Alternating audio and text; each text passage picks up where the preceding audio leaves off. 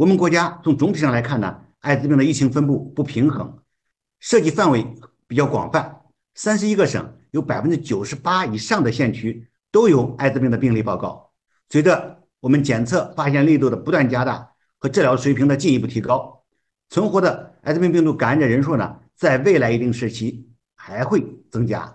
我们国家的艾滋病防治重点聚集聚焦的性传播和消除母婴传播，针对重点地区、重点人群和重点环节，通过加大检测和治疗的力度，我们最大限度的发现和治疗艾滋病病毒感染者。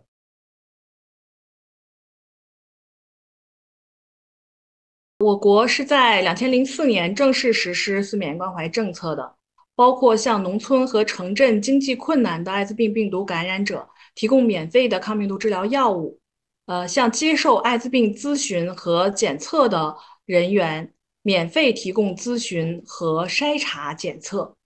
呃，在四面一一关怀基础上呢，后续呢又出台了更多的政策，呃，包括五扩大六加强的政策，还有实施了遏制艾滋病传播的六大工程，呃，以艾滋病治疗为例。